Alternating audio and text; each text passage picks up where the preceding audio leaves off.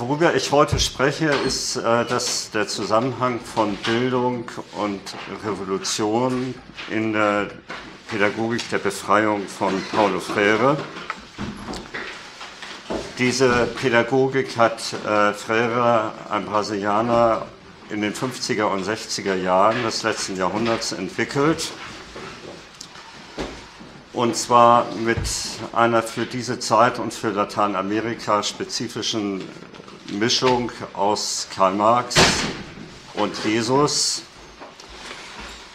äh, teilweise auch äh, mit erheblichen Bezügen auf Sokrates und äh, die europäische Aufklärung.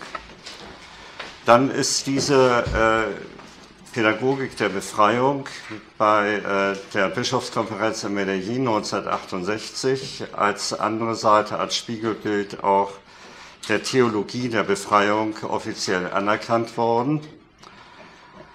Und äh, diese Theologie der Befreiung und äh, die Pädagogik der Befreiung, beides zusammen, haben jedenfalls äh, ab 1955, 60 zuerst in Brasilien, dann in ganz Lateinamerika eine große Rolle gespielt. Dann äh, hat Freire die Gelegenheit gehabt, das werde ich noch mal gleich etwas mehr erwähnen, diese äh, Pädagogik in den ehemaligen portugiesischen Kolonien Afrikas zu praktizieren. Und äh, dann ist das Ganze gewissermaßen zurückgekommen nach Europa, weil es ja auch europäisch inspiriert ist. Und äh, Freire hat um 1970 in der Pädagogikausbildung eine erhebliche Rolle gespielt, auch in Deutschland, und ist äh, da ein wirklicher, äh, eine außerordentlich große Person gewesen im Bereich der Pädagogik und der anschließenden Sozialwissenschaften. Diese Pädagogik der Befreiung geht von einer ziemlich trivialen Überlegung aus. Das ist auch in der Ankündigung so äh, formuliert. Es geht um Erwachsenenalphabetisierung, unmittelbar.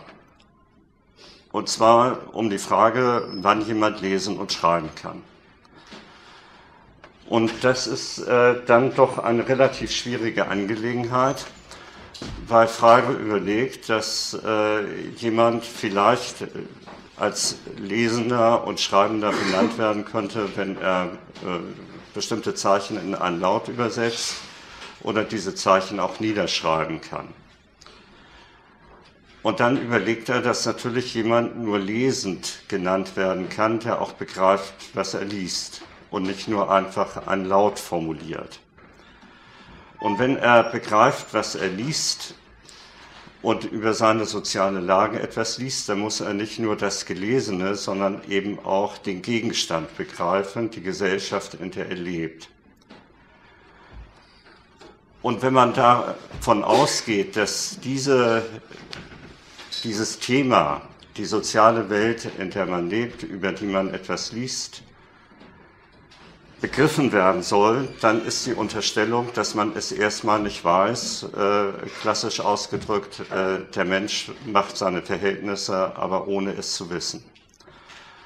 Das heißt, es geht bei dieser Alphabetisierung nicht nur darum, technisch lesen und schreiben zu lernen, sondern auch zu begreifen, was man da liest und was man schreibt. Das heißt, die Welt zu begreifen, in der man lebt. Und das ist jetzt eine relativ schwierige und im Grunde eine alte europäische Frage, dies zu begreifen. Deshalb sagt Freire, dass seine Alphabetisierung nicht nur auf die Überwindung eines linguistischen oder technischen Analphabetismus abzielt, sondern auf die Überwindung eines gesellschaftlichen Analphabetismus, und eines politischen Analphabetismus. Und das betrifft nun wirklich alle und uns eben auch. Also alle auch, die vorgeblich lesen und schreiben können. Und weil dieses Begreifen der Verhältnisse damit zusammengeht, nicht nur, dass man sich der Verhältnisse bewusst wird, sondern dass man dadurch auch die Verhältnisse bewusst gestaltet und in bewusste Verhältnisse verwandelt. Platon hätte gesagt, in Verhältnisse, in denen die Vernunft herrscht, geht diese Alphabetisierung nicht nur mit Bewusstwerdung, sondern damit zusammen, dass Bewusstwerdung gleichzeitig Weltveränderung ist, also Bildung und Revolution. Die Texte, über die ich rede, sind die folgenden von Paulo Freire. Die sind alle zwischen 1973 und 1981 in deutscher Übersetzung erschienen. Das erste ist die Pädagogik der Unterdrückten. Das ist fast alles bei Rowold erschienen, in kleinen Heftchen, übersehbar im Umfang, also ungefähr 150 Seiten. Dann äh, zweitens die Pädagogik der Solidarität. Dann drittens Dialog als Prinzip Erwachsenenalphabetisierung in Guinea-Bissau. Und äh, zusammenfassende Texte, Essays, Dialog als Prinzip. Paulo Freire stammt also aus Brasilien, aus dem armen Nordosten. Das war einmal und äh, gilt auch heute vielleicht noch eine der ärmsten äh, Regionen der Welt in Recife. Er war zunächst Anwalt, hat dann Pädagogik, Geschichte, Sozialwissenschaften studiert, äh, ist dann Professor geworden in Recife und äh, hat dann in einer Zeit, die äh, eher reformistisch war, noch in Brasilien bis 1964 erste Alphabetisierung durchgeführt. 1964 ist ein Militärputsch äh, gewesen, bekanntlich in Brasilien, eine blutigsten Diktaturen der Zeit.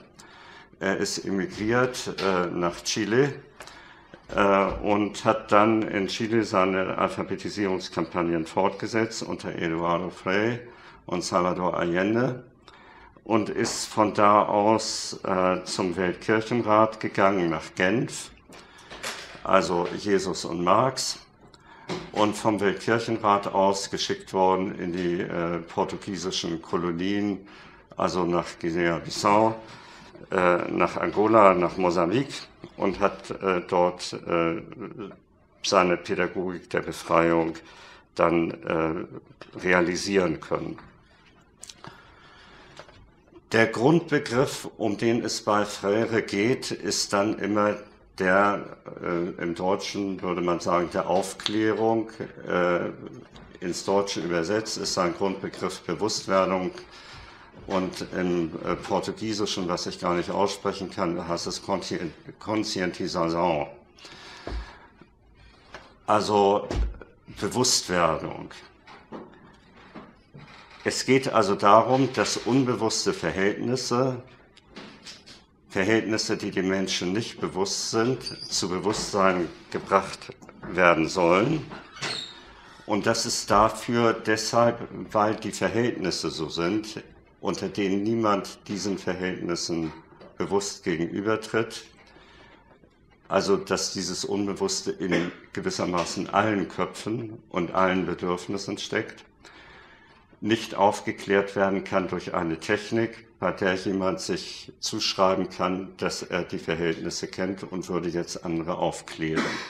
Also eine Trennung zwischen einem Aufklärer und Aufzuklärenden gibt es hier nicht. Bei Habermas findet sich dazu mal die klassische Formulierung, in Aufklärungszusammenhängen gibt es nur Beteiligte. Deshalb ist im Folgenden über Pädagogik erstmal gar nicht zu reden, unmittelbar, wie man sich das so vorstellt als Fach. Es geht also erstmal um die unbewussten gesellschaftlichen Verhältnisse, von denen diese Pädagogik ihren Ausgang nimmt. Und es geht darum, wie darüber aufgeklärt wird. Und deshalb handelt es sich hier äh, bei dieser Pädagogik wohl auch um Pädagogik als Bildungsprozess. Es ist aber auch eine Lehre, könnte man sagen, der Gesellschaft. Deshalb ist also die Pädagogik von Freire auch gesellschaftstheoretisch außerordentlich relevant als Forschungsmethode über Aufklärung über unbewusste Verhältnisse. Es ist ein erheblicher philosophischer Gehalt, der hier darin steckt, also was man schon mit dem Verweis auf Sokrates sieht. Äh, also in vieler Hinsicht ist das keine Fachpädagogik und jedenfalls keine Pädagogik, die sich einschränkt auf Pädagogik in Schulen oder Hochschulen, sondern es geht um die Veränderung der Gesellschaft zu einer Gesellschaft, in der die Menschen ihrer selbst und ihrer Verhältnisse bewusst sind. Ich werde jetzt versuchen, in maximal anderthalb Stunden, aber heute muss ich hier zum Ende kommen und kann das nicht zwischendurch abbrechen, in Stichworten folgende Schritte durchzunehmen.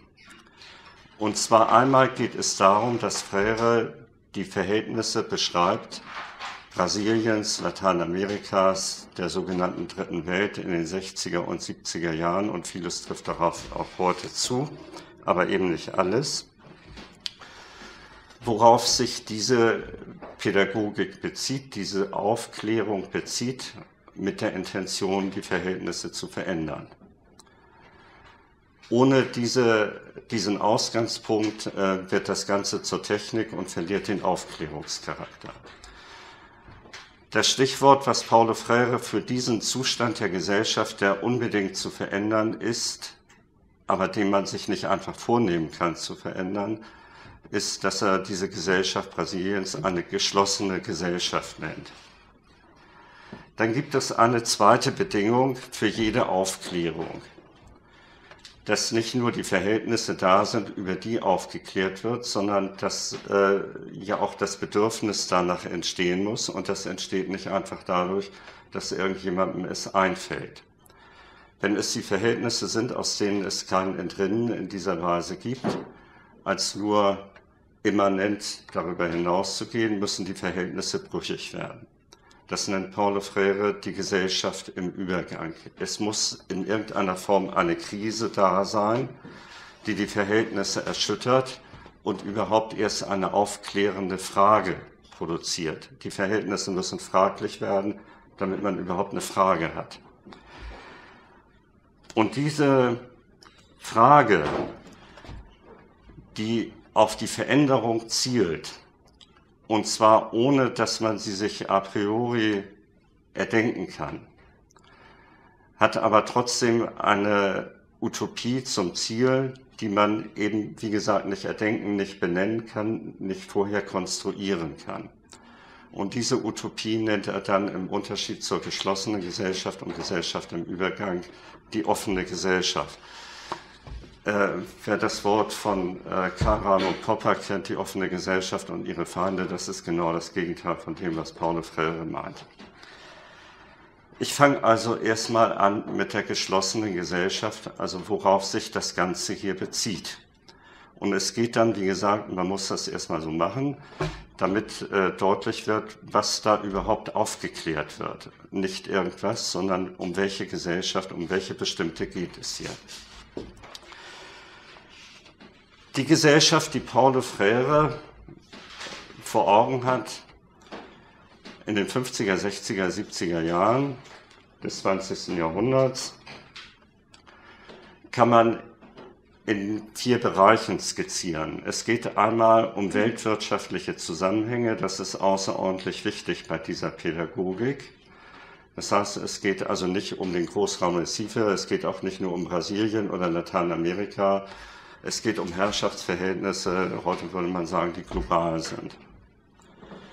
Dann geht es zweitens darum, dass diese äh, weltgesellschaftlichen Verhältnisse sich übersetzen in eine besondere Struktur der unterentwickelten Länder, die man in seiner Zeit mit der damals äh, einigermaßen geläufigen Theorie der Abhängigkeit der Dependencia immer als strukturell heterogen bezeichnet hat, im Unterschied zur europäischen oder nordamerikanischen Gesellschaft.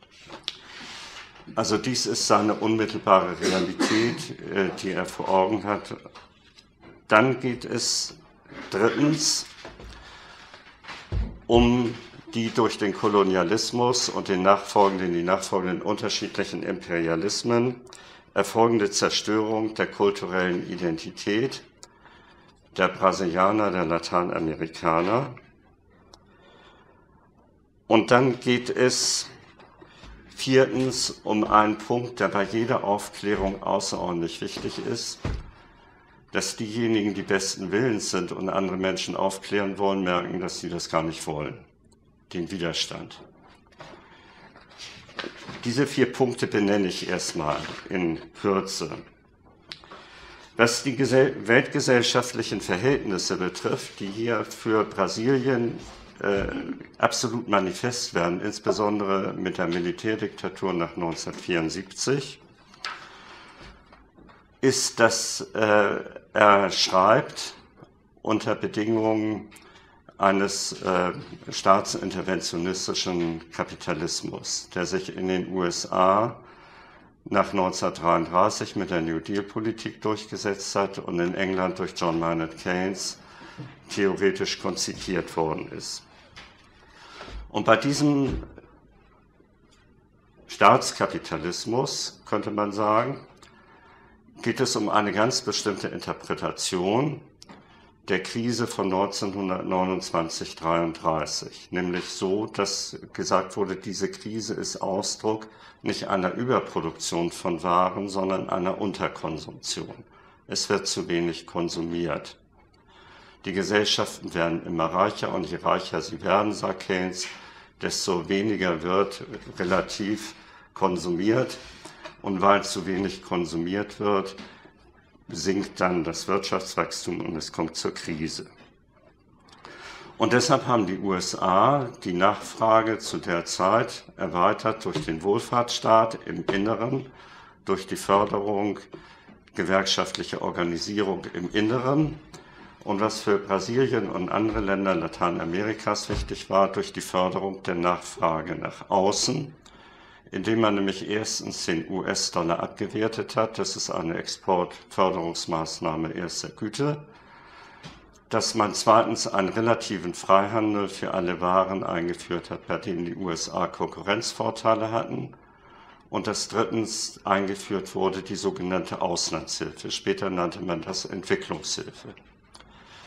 Und diese drei Maßnahmen sollten die Auslandsnachfrage fördern im Interesse der Überwindung der US-Ökonomie. Das heißt, man wollte möglichst viel Waren, die sich im Inneren nicht mehr absetzen ließen, exportieren, also Exportüberschüsse erwirtschaften. Und das heißt, man brauchte Länder, hochaktuell übrigens, wie Sie gerade merken, man brauchte Länder, die Importüberschüsse haben und sich verschulden. Das ist so ungefähr das, was mit Griechenland heute passiert oder anderen Ländern in Europa. Dieses System ist durch das Bretton Woods-System 1944 zum Weltwirtschafts- und vor allen Dingen Weltwährungssystem internationalisiert worden. Und dieses Bretton Woods-System ist für Brasilien und andere Länder nicht nur wichtig wegen der Auslandshilfe, die die Weltbank dann übernommen hat, sondern auch wegen des Weltwährungssystems weil in diesem Bretton Woods-System gesagt wurde, die Weltwährung schlechthin ist der US-Dollar. Der steht immer in demselben Verhältnis, in einem fixen Verhältnis, immer und ewig und für alle Zeiten, jedenfalls bis 1971, in einem bestimmten Verhältnis zum Gold. Und alle anderen Währungen dieses Währungssystems, also nicht alle Weltwährungen, aber die dieses Systems, sind an den US-Dollar in einer bestimmten Parität gebunden. Was das bedeutet für Brasilien oder andere Länder, ist das folgende, dass in dem Moment, wo der US-Dollar gewissermaßen Weltgeld und im Wert fixiert war, von jeder Veränderung ausgenommen wurde. Man könnte vielleicht denken, dass ein Land, was mehr exportiert als importiert, den Wert seiner Währung vielleicht absenken müsste, damit es mehr importiert und weniger exportiert. Oder dass es ähnliche Manipulationen gibt. Aber die Währung der USA war davon ausgenommen. Und so ist dadurch, dass die USA währungspolitisch ausgenommen waren von jeder Veränderung, das Problem einseitig bei den Ländern, die Importüberschüsse hatten und sich verschuldet haben, gesehen worden. Das passiert ja heute wieder. Also die Importüberschüsse sind das Problem. Und so ist auf diese Weise die Vorstellung passiert, dass weil die USA die Weltleitwährung sind und dies immer und ewig fixiert ist, auch das Entwicklungsmodell der USA das Modell für jedes Land überhaupt ist. Es gab also Entwicklungstheorien, man hat sie damals Modernisierungstheorien genannt, die waren weltweit einfach anerkannt, jedenfalls in der westlichen Weltwirtschaft, von US-amerikanischen Ökonomen, sogar von einem Ökonomen aus Haiti, äh, sogenannte Modernisierungstheorien. Und nach dieser Modernisierungstheorie stand das Modell der Entwicklung aller Gesellschaften von vornherein fest, Modell USA, und alle anderen Länder schienen sich auf dem Wege in Richtung der Entwicklung US-amerikanischer Verhältnisse zu bewegen. Und die Verhältnisse in Brasilien eben genauso. Man könnte auch sagen, das ist also eine außerordentlich imperialistische Vorstellung, dass die Kultur schlechthin die US-amerikanische ist und alle Länder auf dem Wege dorthin sind und gewissermaßen Brasilien, äh, sagen wir mal, auf dem Stand äh, Europas und Nordamerikas um 1800 ist und dann irgendwann dahin kommt, dass äh, man auf dem Stand von Europa 1900 ist und irgendwann aufholt. Also ungefähr so. Das heißt, das Entwicklungsmodell steht von vornherein fest. Und weil das Ziel von vornherein feststeht, geht es nur noch um das Mittel. Und deshalb hat man versucht, die Unterentwicklung, Entwicklung steht fest, deshalb ist alles andere weniger unterentwickelt, durch Entwicklungsplanung äh, eine Plan Überwindung der Unterentwicklung dann zu beseitigen. Also Modernisierung. Und weil dies ein äh, von außen aufgezwungenes Modell war, ist dann auch das passiert, was ich eben gesagt habe, von außen aus gezwungen, kann nur mit Gewalt sein und deshalb waren die Regime in Lateinamerika vor allen Dingen, die diese Modernisierung durchgeführt haben, Modernisierungsdiktaturen. Es geht nur diktatorisch. Zweitens, diese äh, Struktur weltwirtschaftlich hat sich in die Länder der dritten Welt übersetzt, in einer sogenannten strukturellen Heterogenität. Und die lateinamerikanische Theorie der Dependencia hat dann in Kritik an der Modernisierungstheorie gesagt und darauf aufmerksam gemacht und das auch sehr plausibel belegt.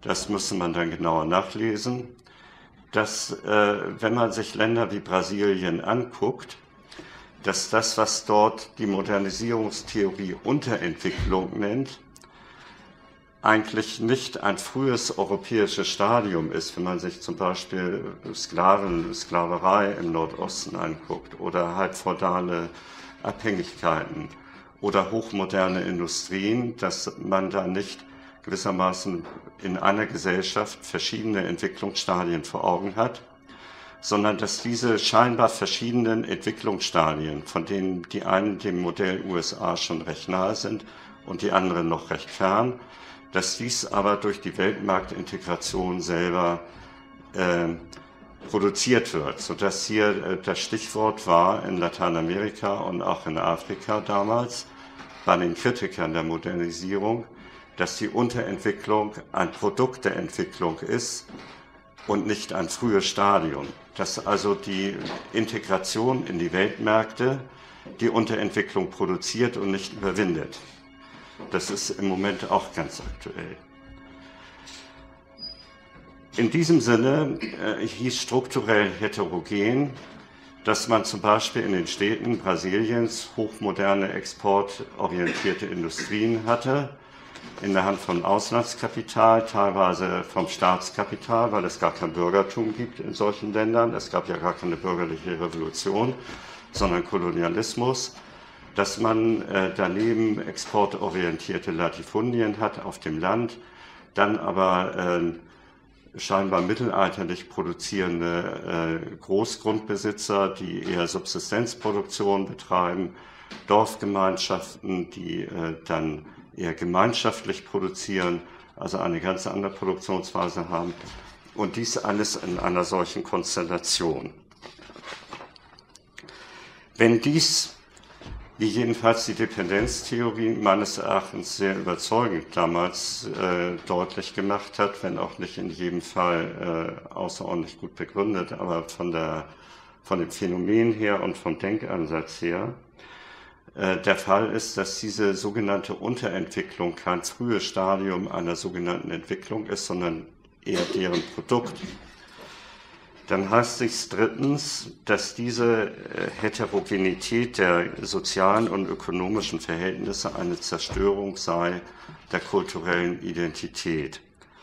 Darauf hat Paulo Freire insbesondere hingewiesen und gesagt, dass das Produkt der europäischen, des europäischen Kolonialismus in Brasilien, in ganz Lateinamerika sei eine kulturelle Invasion und eine Kultur des Schweigens.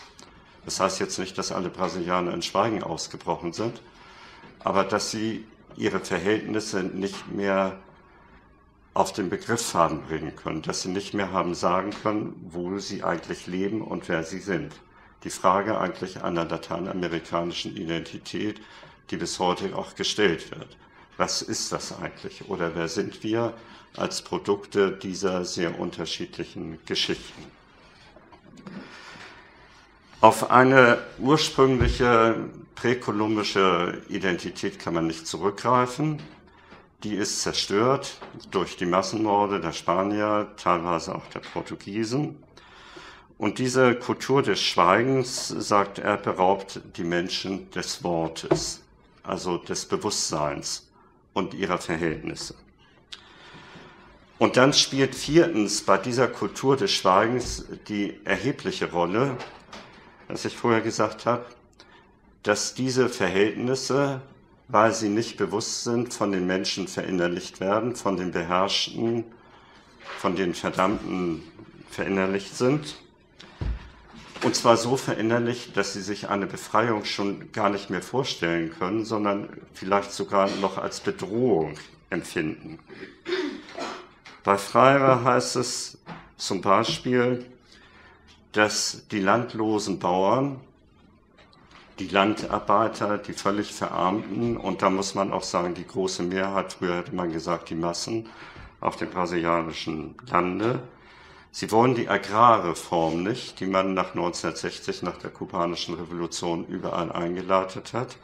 Sie wollen sie nicht, um freie Menschen zu werden, sondern sie wollen sie, um Land zu bekommen und Landeigentümer zu werden. Das heißt, sie wollen nicht von den, die Unterdrückung überwinden, sondern sie wollen nur selber von den Unterdrückten zu den Herren aufsteigen, nichts anderes. Aber die Verhältnisse nicht umstürzen. Es gibt bei Jean-Jacques Rousseau 1762 eine klassische Stelle in seiner, seinem großen Werk, das die Französische Revolution eingeleitet hat, über den Gesellschaftsvertrag dass die Sklaven, schreibt Rousseau, in ihren Fesseln alles verlieren, sogar den Wunsch, die Fesseln abzuwerten. Sie lieben ihre Knechtschaft. Sie bleiben an diese Knechtschaft gefesselt. Es ist ihre Identität und weil es ihre Identität ist, werden sie alles daran setzen, diese Identität, ihre Knechtung zu verteidigen und nicht sie zu überwinden.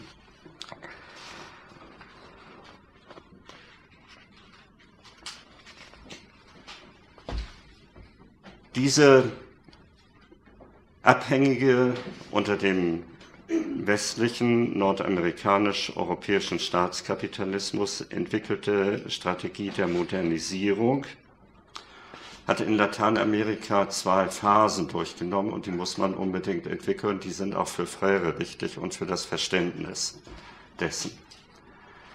Es geht einmal darum, dass ab 1933, während die Nordamerika und Europa in einer tiefen Krise sich befunden hat, Lateinamerika eine gewisse ökonomische Autonomie erhalten hat.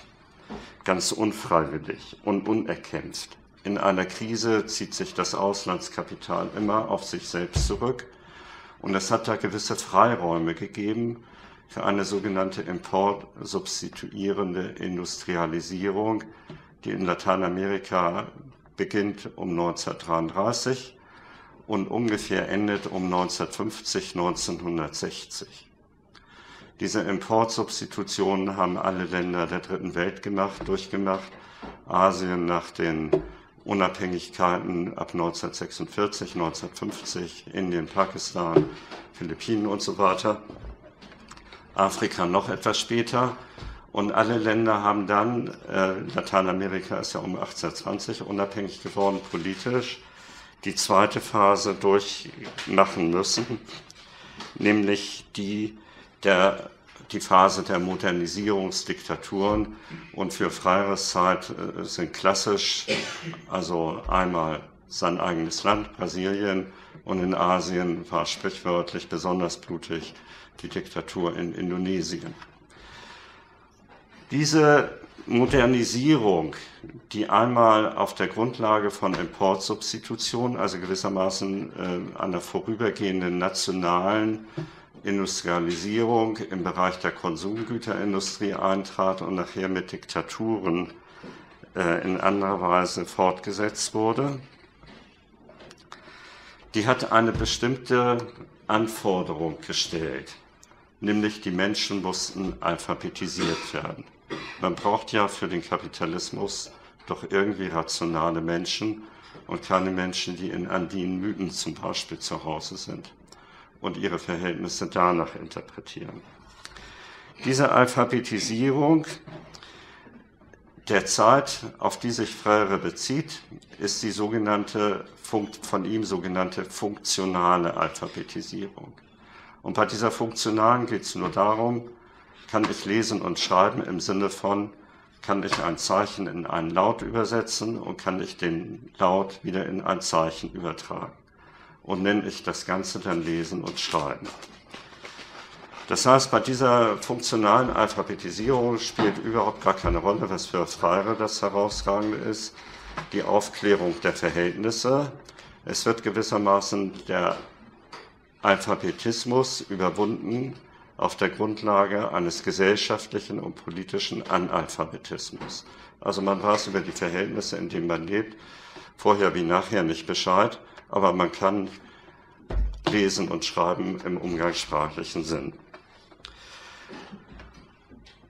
In diesem Sinne ist diese funktionale Alphabetisierung, die äh, Brasilien nach 1964 durchgemacht hat und die dann auch in Lateinamerika sich teilweise verbreitet hat, eine Alphabetisierung gewesen, bei der es nicht nur darum geht, also dieses äh, Verhältnis von Lauten und Zeichen äh, zu erlernen, sondern damit auch den gesellschaftlichen Analphabetismus zu lernen und sich in Herrschaftsverhältnisse zu integrieren.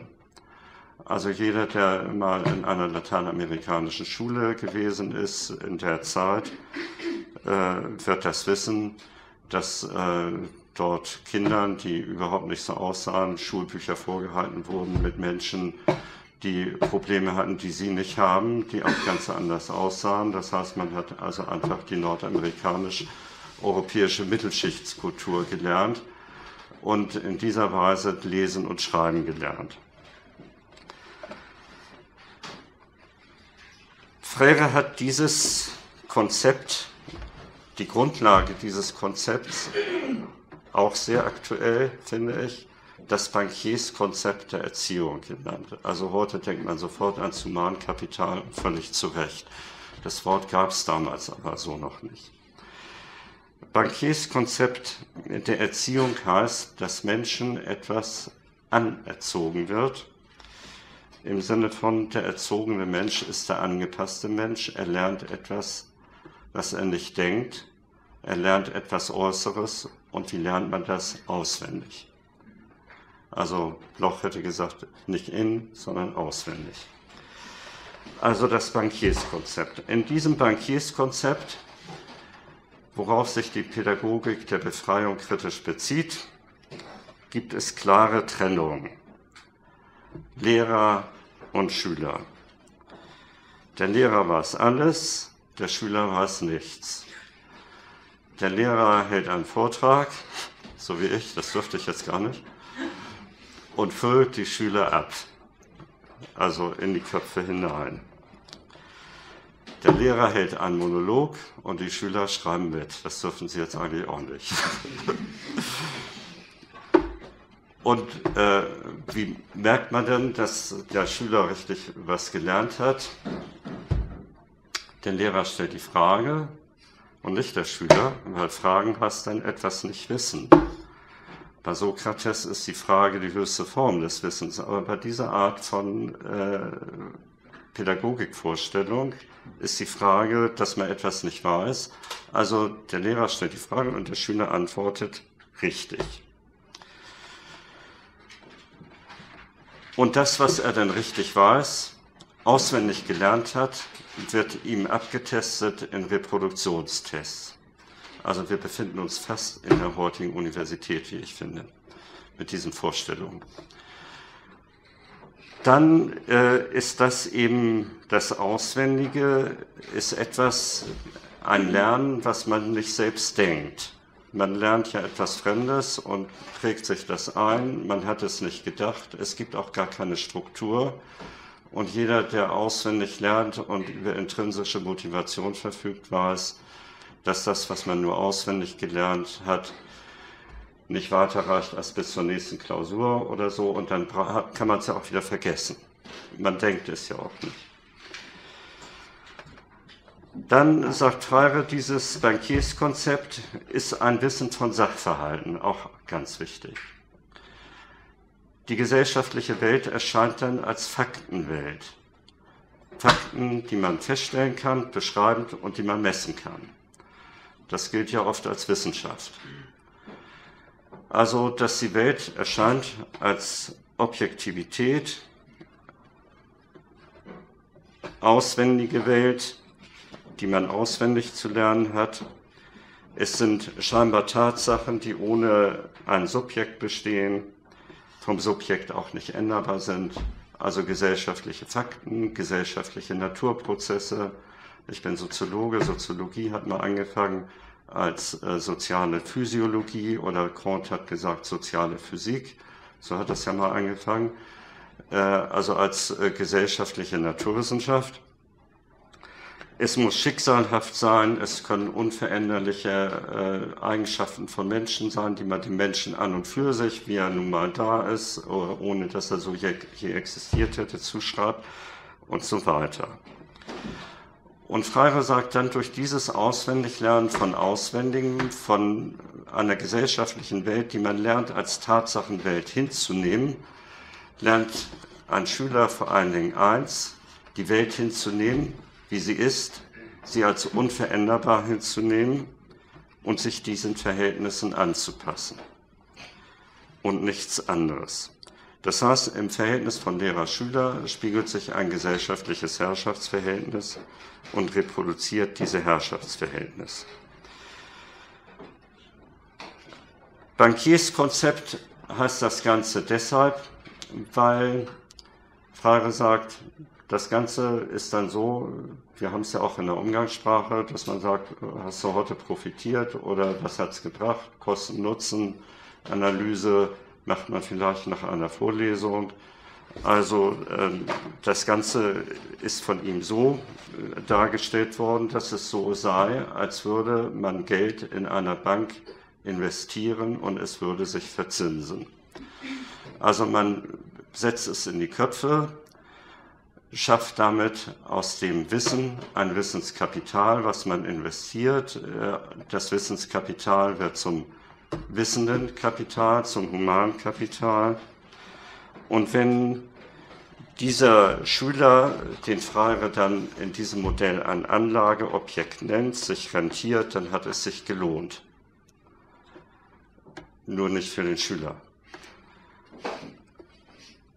für die Verhältnisse.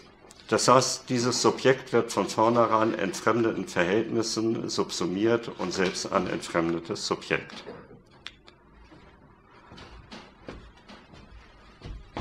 Du hast ja vorhin, also Sie haben es angekündigt, Kapitalismus abschaffen, aber wie, nicht? Darum geht es hier auch.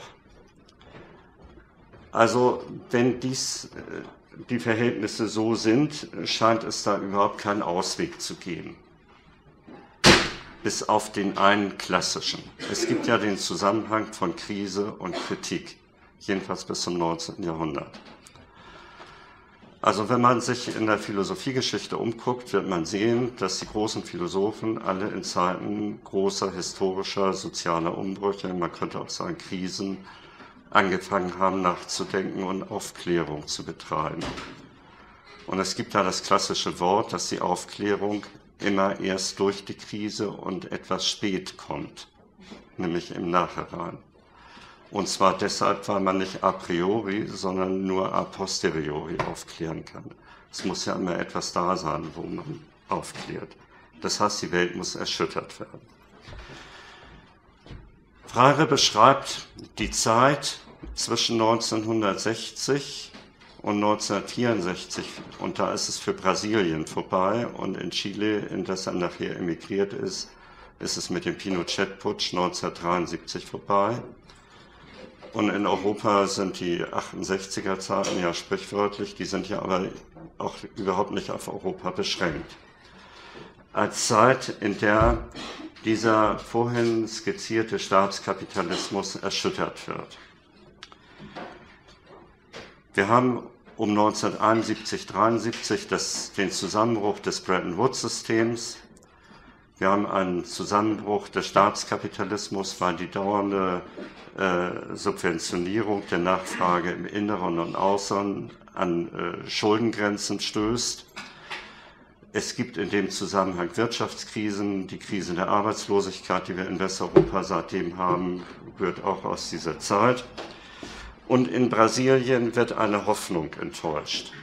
Und in anderen Ländern auch nämlich die Hoffnung nach 1933 durch die sogenannte nationale importsubstituierende Industrialisierung nach der politischen Unabhängigkeit für Brasilien 1821 nun eine substanzielle und ökonomische Unabhängigkeit überhaupt erst zu erlangen. Eine eigene Industrie aufzubauen, das ist neu gewesen. Und wenn man die ersten Industrien für Lateinamerika nimmt, und Lateinamerika geht den anderen äh, Kontinenten noch voran, dann ist diese Industrie um 1900 in allerersten Ansätzen überhaupt nur vorhanden und geht eigentlich erst ab 1933 los.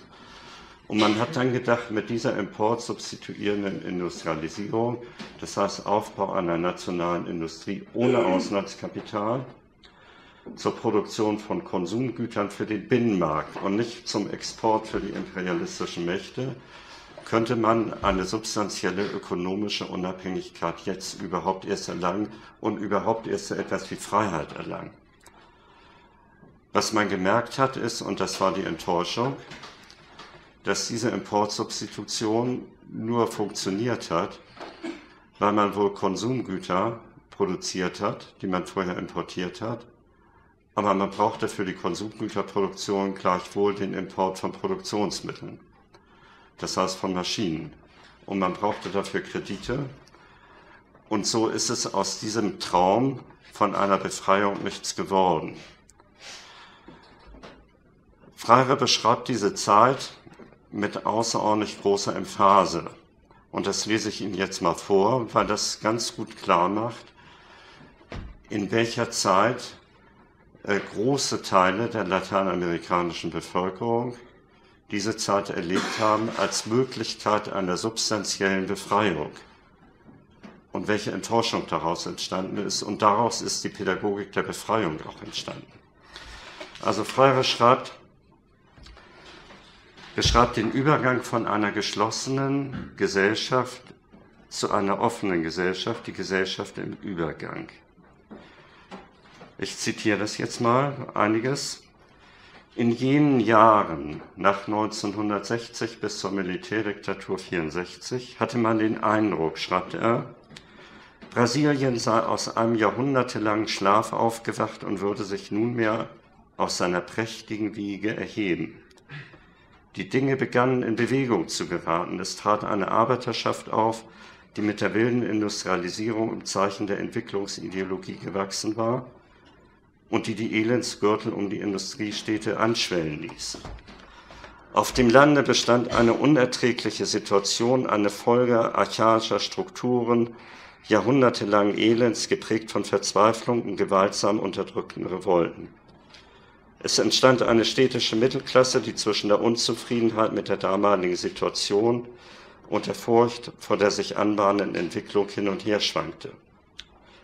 Aus diesem Sektor kamen die Studenten, die zu Tausenden dem Appell folgten, dazu beizutragen, das Analphabetentum in Brasilien auszurotten. Es war ein Idealismus, der die Leute bewegte. Die Alphabetisierungsarbeit fügte sich in diesen Wandel ein, indem die Volksmassen ihre eigene Befreiung durch die kreative Teilnahme an der Ausführung des Neuen vorantreiben sollten. Wir hatten damals eine populistische Regierung, die dieses alles vielleicht nicht genauso gesehen hat wie ich und die sicherlich Pläne besaß, um den besten Nutzen aus den Vorgängen zu ziehen, zumindest um den Prozess kontrollieren zu können. Wir befanden uns meiner Ansicht nach im Stadium einer allgemeinen Bewusstwerdung. Niemals wurde so viel über so vieles diskutiert insbesondere über Demokratie und die Notwendigkeit struktureller Reformen, um dahin zu gelangen. Ich kenne solche emphatischen Äußerungen nur äh, aus dem deutschen Idealismus äh, im Zusammenhang mit der französischen Revolution. Also eine ganz wunderbare Stelle, wo Hegel mal nach 1810 sagt, es sei dies ein wunderbarer Sonnenaufgang gewesen, nie hätte man so etwas gesehen dass der Mensch sich auf den Kopf stellt, das heißt auf die Vernunft und die Wirklichkeit nach diesem zu erbauen. Und so ungefähr ist diese Vorstellung hier, die Gesellschaft ist in einer Krise, es zeichnet sich Neues ab, es ist tatsächlich etwas Neues möglich, ohne dass man weiß, wo es drin liegt, was dieses Neue ist. Und das macht die Situation gerade so produktiv. Die Fantasie hat freien Raum zum ersten Mal bekommt man nicht mehr gesagt, wohin die Reise geht, sondern die Reise ist offen. Und das, was Freiheit heißt, wird in dem Akt der Befreiung überhaupt erst gefunden.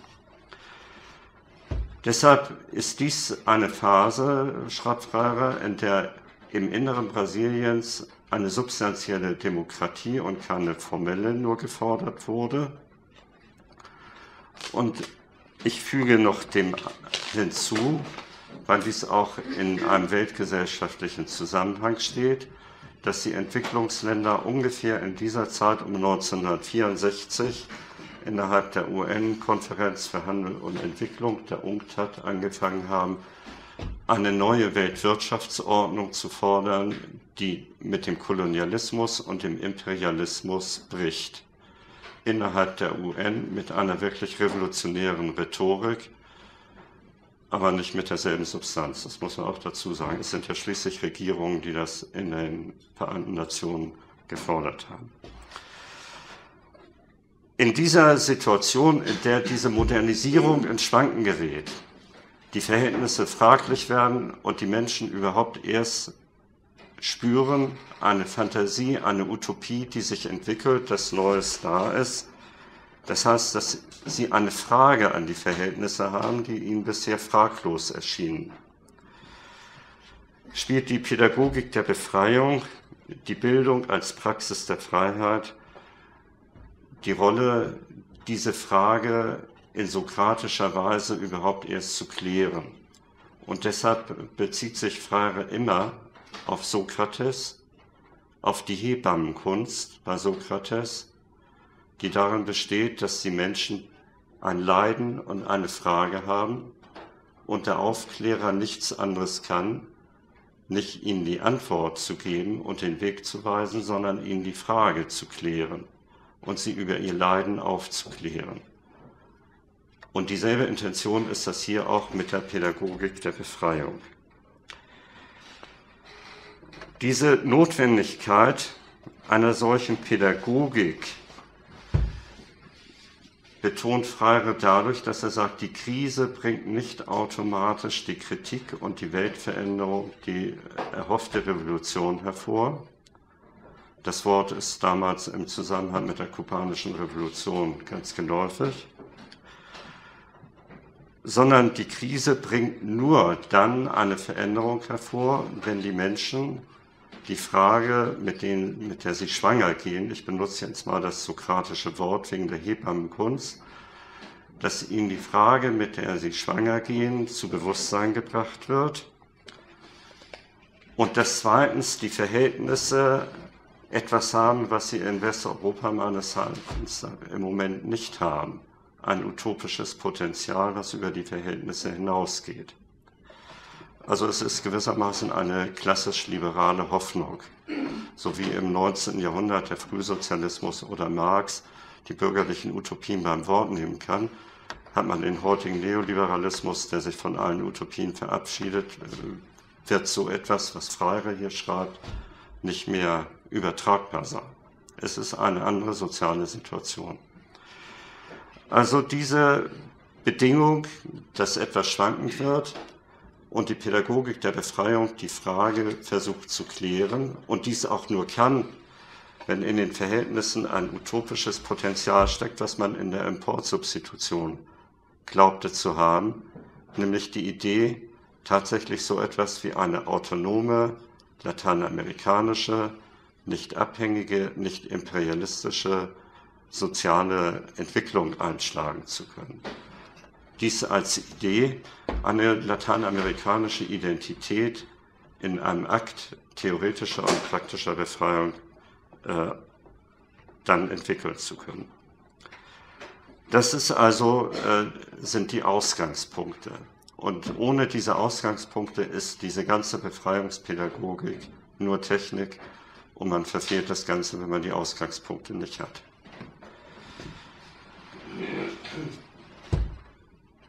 Ich werde jetzt diese Pädagogik der Befreiung einmal eher nach ihrem Programm vorstellen und abschließend nochmal nach äh, der eher technischen Durchführung. Das letztere ist aber eher uninteressant und verletzt teilweise die Idee der Befreiung. Das, was äh, Freire Conscientisation nennt, also Bewusstwerdung, sagt er, das ist der Grundbegriff, um den es bei der Befreiung geht. Aufklärung, Bewusstwerdung. Und dieses Bewusstwerden bezieht sich, wie gesagt, schon dem Begriff nach auf Verhältnisse, gesellschaftliche Verhältnisse, die unbewusst sind sodass es niemanden geben kann, der gewissermaßen das richtige Leben im Falschen schon in der Tasche hat und die Falschen, die im falschen Leben stecken, dann nur noch zum Richtigen bringen kann. In diesem Sinne ist diese Aufklärung immer gebunden an das, was ich eben skizziert habe, etwas länger, die unbewussten Verhältnisse und ihre Erschütterung. Dann ist die Frage, also die Frage schlechthin, äh, was ist unbewusst? Da stellt man sich meistens vor, unbewusst ist irgendwas, was man nicht weiß.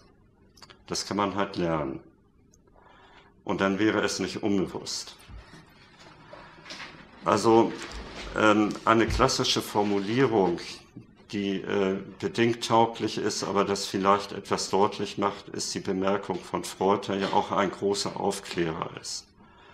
Wo man sagt, wenn ich einen Neurotiker vor mir habe und ihm eine Vorlesung über Neurose halte, dann weiß er wohl, was Neurose ist, aber seine Neurose hat er weiterhin.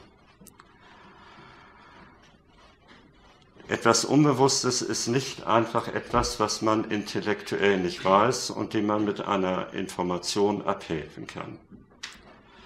Etwas Unbewusstes heißt, dass ich unter Verhältnissen lebe, die mir so selbstverständlich sind, dass ich sie nicht in Frage stelle, weil ich es nicht mal denken kann, das andere, und weil mir dieses Unbewusste zum Bedürfnis geworden ist. Es ist gewissermaßen in mir anthropologisch materialisiert und deshalb ist es auch gesellschaftlich materialisiert und institutionalisiert. Jeder von uns weiß, wie man eine Straßenbahn bezahlt, was vorhin passiert ist, aber niemand weiß, was Geld ist. Wir können damit umgehen, ohne zu wissen, was es ist. Und äh, was Kapitalismus ist, äh, weiß ja auch so recht niemand. Und wir kaufen dauernd die Ware und es gibt äh, das klassische, klassische Kapitel von Karl Marx über die Ware, das außerordentlich schwer ist. Da kann man sogar drüber promovieren. Aber eine Ware kann ich einfach kaufen, da gehe ich in den Supermarkt.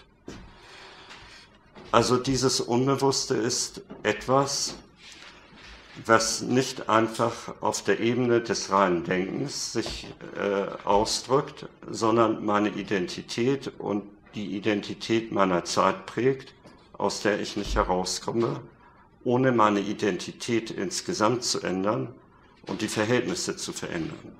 Und deshalb ist der Aufklärungsprozess immer ein Prozess der Selbst- und der Weltveränderung.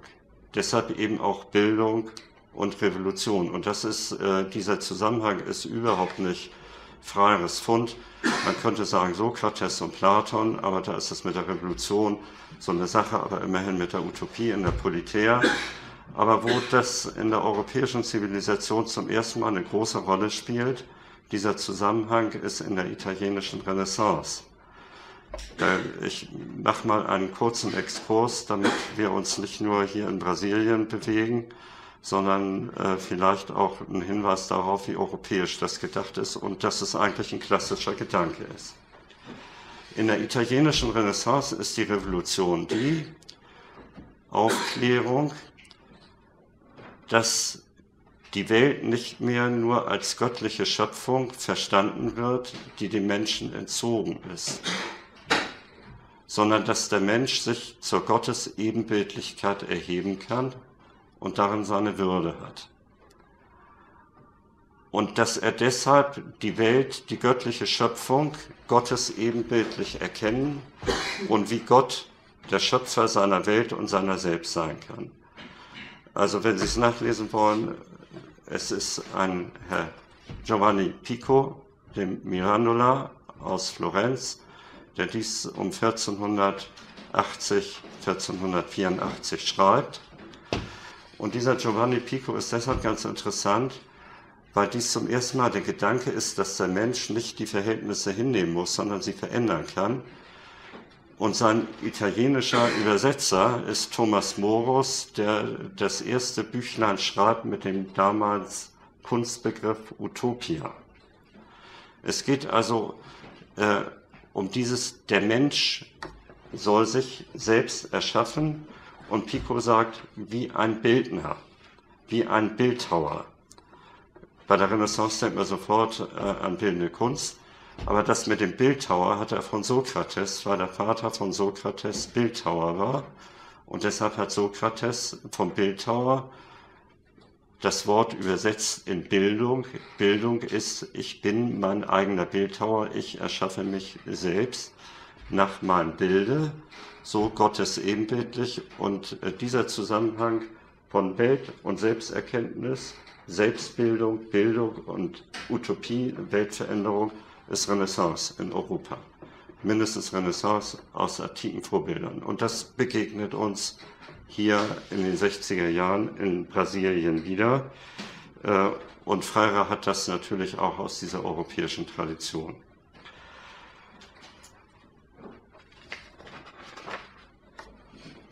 Also das ist erstmal das, was unbewusst heißt. Also nicht einfach nicht etwas nicht gewusstes, dem man durch Informationen abhelfen kann, wo das Individuum sich gar nicht verändern muss. Aufklärung ist Bewusstwerden durch Veränderung seiner selbst und seiner Welt. Dann äh, ich mache das jetzt mal in einer Konstellation von Bestimmungen über das, was Aufklärung und Bewusstwerden heißt. Wenn diese Aufklärung kein Prozess puren Nachdenkens ist, bei dem man einfach jemandem ein Argument hat, das bessere Argument, und äh, sieht das sofort ein, sondern wenn dies die Identität prägt und äh, Selbstveränderung und Weltveränderung fordert, stößt das auf die besagten Widerstände beim Individuum selber und auch bei den Verhältnissen, unter denen es lebt. Also soziale Kämpfe, und auch das eigene Festhalten an Umständen, die äh, vorhanden sind. Und das betont Frage immer wieder, zum Beispiel in der folgenden Formulierung. Eines der schwersten Hindernisse bei der Erreichung der Befreiung liegt darin, dass die unterdrückerische Wirklichkeit diejenigen verschlingt, die darin leben und so weiter. Deshalb sagt er, drittens, steht das, was das Ziel der Aufklärung ist, nicht von vornherein fest. Und deshalb ist Aufklärung kein Verhältnis von Zweck und Mittel, keine Technik. Und weil sie keine Technik ist, sind diejenigen, die sich anmaßen, er spricht immer von Massen, das ist für Lateinamerika vielleicht auch bei äh, der äh, amorphen Sozialstrukturen nicht ganz unangemessen. Also ist es eine Anmaßung, wenn sich Menschen als Avantgarde in einer Weltveränderung fantasieren und sich Massen an die Spitze zu setzen meinen und äh, glauben, sie aufklären zu können. Man kann niemanden aufklären. Es ist keine Technik. Jemand muss das Bedürfnis danach haben, man kann niemandem eine Frage geben. Das ist die Grenze. Das heißt aber nicht, dass der Pädagoge der Befreiung hier äh, auf derselben Stufe ist wie alle anderen, sondern dass diese Aufklärung sich immer bewegt auf der Ebene der Form und nicht auf der Ebene des Inhalts. Klassisch ausgedrückt, das kann man bei Sokrates und Platon lernen, ein Gedanke wird dadurch zu Bewusstsein gebracht, das Denken wird dadurch selber zu Bewusstsein gebracht, dass man es mit seiner eigenen Form konfrontiert und sich auf der Metaebene der Form bewegt. In diesem Sinne nennt man auch die Aufklärung entweder Spekulation von Spekulum, vom Spiegel oder Reflexion, also auch dieses Zurückwerfen eines Gedankens auf sich selber.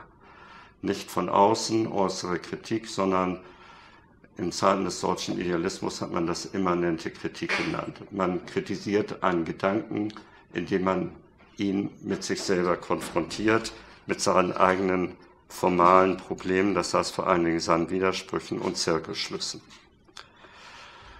Und weil deshalb diese Aufklärung immer das Zurückbeugen eines Gedankens auf sich selbst ist, also nochmal mit Aristoteles gesprochen, was hier bei Freire auch immer so gemacht wird, ein Denken des Denkens ist, dass das Denken sich selber zum Thema wird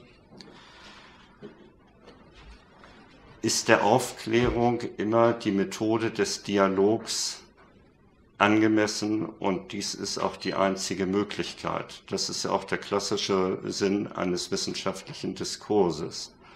Nicht sich in einem Meinungskampf um Sieg oder Niederlage zu befinden, sondern um die Aufklärung fremden Gedankens. Das war jedenfalls mal so. Und äh, diese Form des Dialogs heißt, dass der eine Akteur dem anderen als Spiegel dient und ihm seine Frage zurückwirft, ohne ihm Antworten zu geben. Also, wenn Sie das nachlesen wollen, es gibt äh, von Fichte oder Schleiermacher klassische Texte zur deutschen Universität, die sich darauf beziehen, dass an der später sogenannten Humboldt-Universität der sokratische Dialog der Aufklärung die angemessene Form des akademischen Studiums sei und keineswegs das Auswendiglernen von äußeren Dingen für ein Brotstudium, wie man das verächtlich genannt hat, wo der Mensch nichts anderes wird als Instrument für fremde Zwecke. In diesem Sinne ist wohl der Aufklärungsprozess ein Prozess, bei dem das Denken mit sich selbst konfrontiert wird, Form mit Inhalt konfrontiert wird und die eine Seite dem anderen als Spiegel dient, aber nicht so, dass der Erzieher oder Aufklärer dem Aufzuklärenden vorangeht und ihm den Weg weist. Diese Zusammenhänge zwischen Reflexion, Spekulation, Dialog sind das, was klassisch, aber nicht bei Frere so genannt, äh, aber bei Platon Dialektik heißt. Man geht von einem Gedanken aus, der undurchschaut ist und zieht aus ihm nicht Konsequenzen, die man ebenfalls dann nicht durchschaut, sondern geht hinter diesen vorausgesetzten Gedanken zurück und begreift seine Genesis und begreift dadurch, dass das, was man vorausgesetzt hat, nur auf die Dinge projiziert hat. Also mal angenommen, ich hätte eine bestimmte Vorstellung von Menschen, die haben Menschen immer gehabt, und würde denken, dass ein Mensch ein arbeitendes Wesen ist, sagen wir mal um 1800 wäre das so die Antwort gewesen, und würde nicht fragen, wie ich überhaupt dazu komme, den Menschen so zu äh, definieren und nicht als so ein Politikon, wie Aristoteles das macht. Also ich würde von der Genese abstrahieren und wäre gewissermaßen erinnerungsunfähig und würde in diesem Menschen würde nur dann Menschen für Menschen halten, wenn sie auch arbeitende Wesen wären, dann würde ich diese Fantasie, dieses Voraussetzungsvolle und nicht durchschaute auf alle Menschen projizieren und dann nur noch die für Menschen halten, die auch arbeitende Wesen sind. So, und dann kann ich die klare Unterscheidung machen zwischen Menschen, die Menschen sind und Menschen, die eben keine sind. Das wäre das, was bei Platon Dialektik heißt und nichts anderes, der Rückgang hinter undurchschaute Gedanken, um diese undurchschauten Gedanken aufzuklären, indem man ihre Genese aufklärt und dadurch auch die Projektion unbewusster Gedanken auf die Dinge, sodass sie erscheinen, als sei das eine Tatsachenwelt. Das ist ja das, was wir Tatsachen so nennen. Etwas Unbewusstes kommt uns da entgegen und wir glauben, die Sachen sind so, obwohl es eine Projektion ist.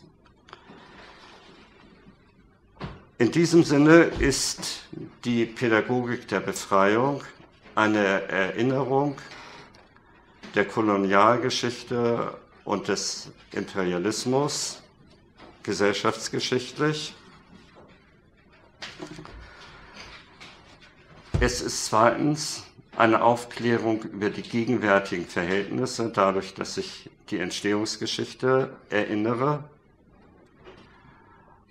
und dadurch drittens ist es möglich, eine Aussicht zu entwickeln auf eine Gesellschaft der Zukunft, ohne zu wissen, wie diese aussieht. Das Land Utopos, das Land nirgendwo überhaupt zu machen. Das heißt, ich befreie die Fantasie von ihrer Besetzung durch die gegenwärtigen Verhältnisse und bin zum ersten Mal überhaupt in der Lage, Fantasie zu haben und nicht das zu haben, was ich glaube, dass Fantasie wäre. Wenn in diesem Sinne eine Aussicht, eine Befreiung des Landes nirgendwo von den Verhältnissen, von den Bestehenden so erreicht ist, sagt Freire, ist die Kultur des Schweigens gebrochen und die Menschen finden ihr Wort wieder. Sie können zum ersten Mal ihre Verhältnisse begreifen und benennen. Und das ist vorher nicht so.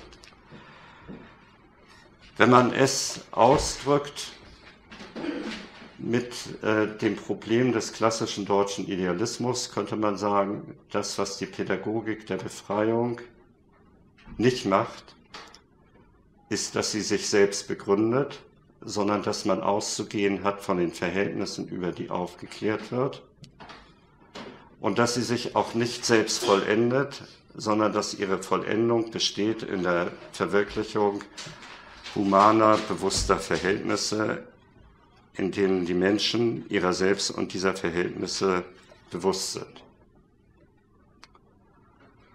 Soweit, so gut könnte man sagen, und soweit befinden wir uns vielleicht auf der sicheren Seite. Das Problem ist dann, dass Freire auch betont, dass eine Aufklärung, weil sie immer nur unter Herrschafts-, unbewussten Herrschaftsverhältnissen besteht, überhaupt nicht vermeiden kann, obwohl sie versucht, sich kritisch zu verhalten, diese Herrschaftsverhältnisse auch immer zu reproduzieren.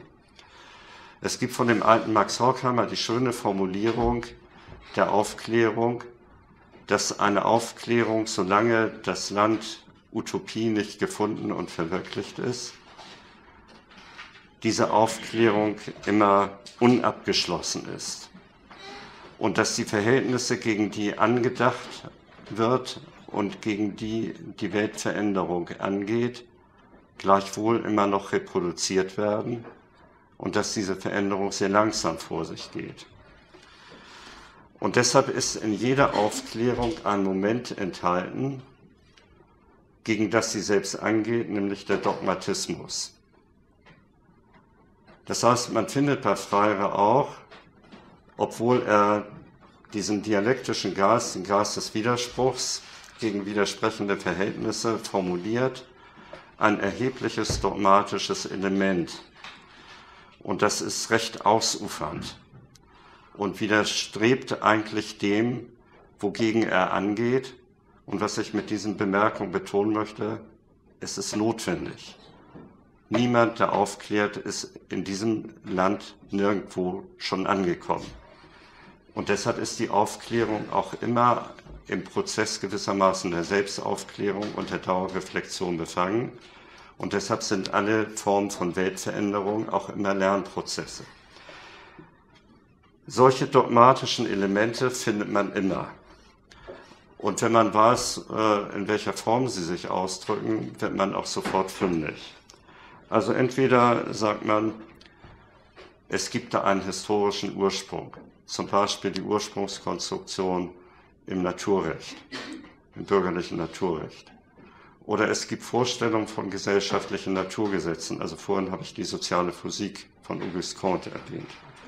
Oder es gibt gegenwärtig im Neoliberalismus die Idee, dass die gesellschaftlichen Kräfte so komplex sind, dass man sie nicht durchschauen kann, weshalb sie wie eine mythologische Macht über uns wirken, die sich uns auf immer und ewig entziehen wird. Oder es gibt anthropologische Grundannahmen. Zum Beispiel der Mensch ist ein arbeitendes Wesen und das wiederholt Freire auch.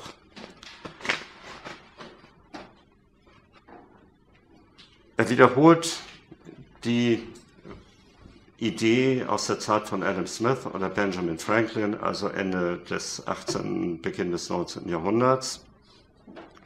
Friedrich Engels hat es ja auch mal wiederholt, der Anteil der Arbeit an der Menschwerdung des Affen. Also der Mensch ist ein arbeitendes Wesen und durch die Arbeit verändert er die Welt, schafft seine Welt und er verwechselt Freire diese Logik der Arbeit. Max Weber hätte gesagt, des zweckrationalen Handelns, des technischen Handelns mit der Aufklärung. Um mal deutlich zu machen, weil ich annehme, dass das nicht für alle äh, plausibel ist aufgrund sehr unterschiedlicher Kenntnisse. Bei einer Technik geht es darum, dass ich vorher ein Ziel vor Augen habe und mich auf irgendeinen Prozess, den man eine erste Natur nennen könnte, beziehe und diese Naturgesetze anwende, um sie für meine Zwecke dienstbar zu machen. Bei der Aufklärung geht es darum, gesellschaftliche Gesetze, die als Naturgesetze nur erscheinen, nicht anzuwenden, sondern zu überwinden. Das erste hat man mal erste Natur, das andere bewusstlose zweite Natur genannt. Das beides kommt von Hegel und ist mal äh, bei Georg Lukács aufgenommen worden, ne, in der Romantheorie. Diese Vorstellung, der Mensch sei ein arbeitendes Wesen, spielt hier bei Freire als Begründung seiner Aufklärung eine außerordentlich große Rolle. Und man könnte vielleicht sagen, so wissenschaftstheoretisch, was er verwechselt, ist die Logik der Reflexion mit der Logik instrumentellen Handelns.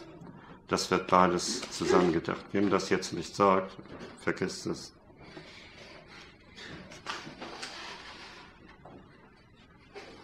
Im letzten Punkt möchte ich nochmal die Stufen dieser emanzipatorischen Erwachsenen-Alphabetisierung, wie Freire sie skizziert, vortragen. Das geht jetzt relativ schnell. Und zwar kann man darauf sehen, dass so wie er diese Pädagogik der Befreiung in eine Praxis der Freiheit, der Befreiung umsetzt, es um Befreiung geht und diese aber auf eine Technik verkürzt wird. Es ist am Ende bei ihm auch wesentlich eine Technik, sodass man lernen kann, wie man es macht, obwohl er dauernd sagt, dass man genau dies nicht kann, weil niemand von vornherein weiß, wie es gehen könnte. Niemand befindet sich im Stande Utopias. Es gibt drei Stufen bei ihm. Das kann man einfach tatsächlich auswendig lernen, was schon zeigt, dass es äh, so nicht geht. Es gibt bei ihm drei Stufen, die er unterscheidet im Alphabetisierungsprozess. Die erste Stufe ist besonders deutlich eine Verletzung des Grundsatzes, dass es in Aufklärungsprozessen nur Beteiligte gibt. Also auf der einen Seite sagt Freire, eine Frage kann man niemandem geben, die Verhältnisse müssen fraglich werden, ich kann die Frage nur präzisieren. Auf der anderen Seite versucht er doch Menschen die Frage überhaupt erst zu geben. Die erste Stufe nennt er dann die Phase der Motivierung. Also er schlägt vor, Analphabeten die Notwendigkeit, lesen und schreiben zu lernen, überhaupt erstmal zu vermitteln. Es ist nicht das Bedürfnis. Und der Unterdrückte soll dann den Widerspruch entdecken, dass er die kulturelle Welt geschaffen hat und dass ihm die Welt, die er geschaffen hat, fremd gegenübersteht und dass er sich deshalb diese ihm entfremdete Welt erstmal aneignen muss. Das soll er erstmal begreifen und das soll ihm der Aufklärer, der in diesem Sinne auch bei Freire sich tatsächlich als Avantgarde zur Avantgarde erhebt, erstmal begreiflich machen. Das ist also Technik und außerordentlich dogmatisch gedacht. Das heißt, man kann daran lernen, wie es nicht sein sollte, nach der eigenen Idee dieser Pädagogik. Dieses A priori-Wissen kehrt jetzt in, auf den nächsten beiden Stufen wieder. Die zweite Stufe ist die Phase, die man vielleicht nennen kann, die unmittelbare Alphabetisierung. Im Sinne von Lesen, Lernen, Schreiben lernen als Technik und die Verhältnisse und sich selbst lernen und verändern in dieser Doppelbedeutung. Und da geht es wieder dogmatisch los. Am Anfang wird gewissermaßen mit den über die Aufklärenden nachgedacht, über die Aufzuklärenden nachgedacht, Entschuldigung. Und die Aufklärer erheben sich. Sie fangen erstmal an und haben da gewissermaßen im klassischen, äh, in der empirischen Sozialforschung würde man sagen, das sind die Probanden. Und erstmal nichts anderes. Es gibt in dieser zweiten Phase zunächst eine Untersuchung des Wortschatzes, ich zitiere jetzt immer, der Gruppe, mit der man arbeitet. Also das klingt schon doch nach der Trennung, die gar nicht sein soll. Und das heißt dann, dass nicht im Sinne der vorhin als Beispiel genannten äh, Lesebücher oder Schreiblernbücher, Alphabetisierungsbücher, die europäische Kultur zum Gegenstand gemacht wird. Man soll wohl äh, in einer bestimmten Gruppe, und es geht jetzt hier vor allen Dingen um Verelendete in den städtischen Elendsquartieren Brasiliens erstmal und dann eben auch auf dem Lande, durch die Untersuchung die Wörter dieser Gruppe mit der größtmöglichen existenziellen Bedeutung herausfinden und die Alltäglichkeit, sagt er, der Menschen zum Gegenstand der Analyse machen. Und aus dieser Wortschatzuntersuchung, was spielt für Leute eine Rolle? Das äh, leuchtet erstmal ein, dass ein Bewohner der Favela, äh, dass für den andere Wörter wichtig sind als für unser eins und dass sie Wörter kennen, die wir gar nicht kennen. Also dass bestimmte Bereiche auch der weltgesellschaftlichen Ordnung äh, für Leute in Lateinamerika geläufig sind, dass sie zum Beispiel viel eher wissen, was der IWF ist, als wir. Wir müssen es ja nicht wissen. So, dass also äh, diese äh, Wörter erstmal untersucht werden und das, er nennt das dann die generativen Wörter herausgefiltert werden. Das heißt, die Wörter, die linguistisch den größten Reichtum haben, aber die auch den größten äh, inhaltlichen Reichtum als Aufklärung über die Verhältnisse haben. Also wenn ich äh, sagen würde Trinkwasser, wäre es hier kein Problem. Damit erklären wir hier relativ wenig. Wenn wir Leute haben, die am Tag fünf Liter Wasser, Trinkwasser zur Verfügung haben, ist das ein solches generatives Wort. Dann wird, nachdem dies untersucht worden ist, werden die Wörter, er nennt das kodiert, das heißt bildlich dargestellt, entweder in Zeichnungen, auf Fotos oder ähnlichem. Und dann wird der Gruppe der zu Alphabetisierenden ein solches generatives, also existenziell wichtiges Wort vorgelegt, als Schrift und als Bild. Und es soll anhand des Bildes, das nennt er dann der Kodierung, das Bild dekodiert werden. Das heißt, man unterhält sich darüber, welche Rolle Trinkwasser hat, wie man da rankommt, wie lange das dauert, welche Bewohnerorganisationsform man so braucht, um das zu schaffen äh, wo und wie und welche Probleme es bei Trinkwasser gibt und ob das vergiftet ist oder nicht oder ob man das aus Wasserwagen holt oder aus dem Brunnen oder ähnliches. So, und dann prägt man sich dies ein, nachdem man gemerkt hat, dass der Tropfen Wasser aus dem Hahn ein Politikum ist und dies die gesellschaftlichen Verhältnisse erhält, prägt man sich diesen Gehalt ein, indem man sich über die Verhältnisse aufgeklärt hat, zusammen mit dem Wort. Und dann kann man schreiben. Dann hat man nämlich gelesen, was man begriffen hat und schreibt, was man besser verstanden hat, jedenfalls besser als vorher. Dann gibt es einen dritten Abschnitt, das nennt er nachalphabetische Bildungspraxis, die läuft genauso wie der zweite Abschnitt. Es geht jetzt nicht mehr um den ganz unmittelbaren Lebenszusammenhang, sondern er nennt das das thematische Universum, also im deutschen Idealismus hieß das um den Geist der Zeit. Also welcher Zeitgeist herrscht durch eine Gesellschaft, welcher Geist prägt die Gesellschaft insgesamt. Und analog zu den generativen Wörtern, sagt er, dann gibt es generative Themen. Es ist einfach eine Stufe der Abstraktion mehr. Es wird wieder kodiert, dekodiert, aufgeklärt und noch einmal das rein technische Lesen und Schreiben damit äh, dann vertieft und die Aufklärung vertieft. Was Freire betont abschließend ist, dass eine solche Alphabetisierung, und dann betont er auch dies, obwohl er dem auch immer widerspricht, bei dem, was er macht, eine solche Alphabetisierungskampagne nur dort überhaupt stattfinden kann, wo Menschen mit dieser aufklärenden Frage schwanger gehen und eine Frage an die Gesellschaft haben mit dem Ziel, diese Verhältnisse zu verändern und human zu gestalten. Und deshalb sei diese Aufklärungskampagne nur möglich, schreibt er, dort, wo sich Unterdrückte in Brasilien oder anderswo organisiert haben in dieser weltverändernden Praxis, zu der auch in Brasilien die Theologie der Befreiung gehört hat. Das heißt, es geht um Landlose auf dem Lande, landlose Arbeiter, um äh, Comuneros, also Bauern, die in äh, Dorfgemeinschaften produzieren. Es geht um Bewohner urbaner Elendsquartiere, die sich bekanntlich organisieren müssen damit überhaupt eine Landbesetzung stattfinden kann, damit man Wasser, Trinkwasser, Müllabfuhr und ähnliches ansatzweise bekommen kann.